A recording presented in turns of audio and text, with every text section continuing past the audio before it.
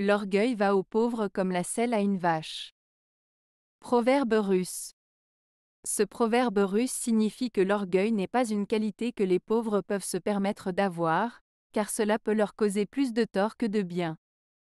C'est comme si une vache avait une selle sur le dos mais n'avait pas la capacité de la porter ou de la comprendre.